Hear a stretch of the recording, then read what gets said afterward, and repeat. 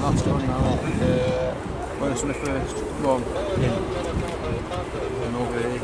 The only ones I've ever got is I've caught them with Yeah, they were we feed something to see what we feed on for, for it's been for uni in the morning for the car back to get them sushi. It's like uni at half and always it's like a conic They're panic about it.